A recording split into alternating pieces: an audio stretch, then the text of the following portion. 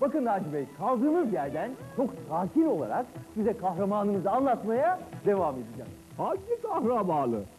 Bakın Naci Bey, bu kahraman dağlardan yuvarlanıyor, uçaklarla aşağıya çakılıyor ama yine de ölmüyor. Ha, Cüneyt Arkın. İnanamıyorum. Peki kahraman deyince aklınıza başka hiçbir şey gelmiyor mu Naci Bey? Tabii geliyor. Bizim bir çavuşumuz vardı Kahramanmaraşlı. Yine bir Eskiden direkler arası vardı. Bir eğlenirdik, bir eğlenirdik. O zamanlar üç kuruşa bir simit alınır, üç sene